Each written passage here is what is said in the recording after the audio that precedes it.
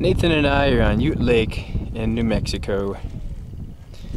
And we're in Kevin and Myra's kayak. And we're just floating along right now. We paddled out here about a mile and, and Nathan's eating some cheese.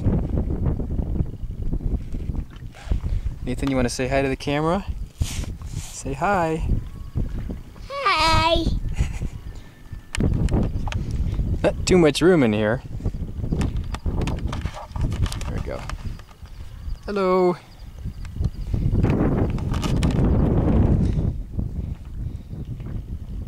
When you first start paddling, the boat goes about 60 degrees either direction.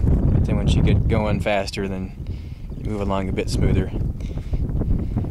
And the clouds are coming in. There's blue sky all the way out here, and now the clouds are here. So we got our raincoats stuffed down by our feet somewhere, down there. And it's relatively quiet.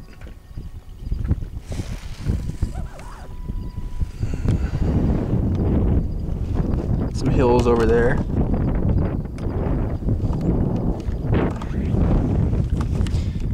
Not sure what Nathan thinks. Nathan, what do you think? What do you think about riding in an inflatable kayak?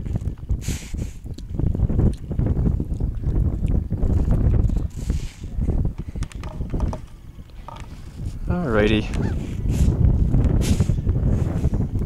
Say bye, Nathan. Bye.